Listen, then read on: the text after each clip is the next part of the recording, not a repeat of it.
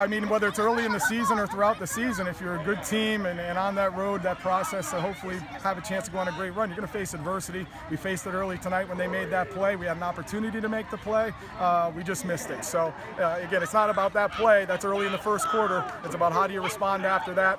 Uh, and again, I think, you know, maybe in the first quarter uh, we struggled a little bit. Again, I think in the second quarter we started to get our feet under us, but I think I think we came tighter together. I think we were able to focus back in, and the defense I think finished very strong. Well, again, I think it's all about backs. It's their their ability to get get a flow, get something going, put some carries together. And early in the game, sometimes that's not uh, you know with everybody fresh and everybody um, you know playing full speed, that's not as easy to do. I think as you carry, and I think we've got a good stable of backs, and uh, you know we've very uh, been able to be diverse a little bit offensively, spread the ball around a little bit. I think you saw what that does for a back like Brian or or, or Boyle or even Kostak and all of our other backs um, as you work later into a game, and that's really uh, where you try to come out and finish a game, and that's what I think we were able to do tonight.